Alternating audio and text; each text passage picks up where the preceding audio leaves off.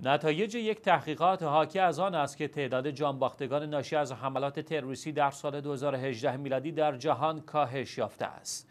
به گزارش شیویوز به نقل از آرتی نتایج تحقیقات یک مرکز مبارزه با تروریسم موسوم به جین نشان داد در سالهای 2017 و 2018 بیشترین تعداد حملات تروریستی در کشورهای سوریه، اوکراین، عراق، یمن و افغانستان رخ داده است.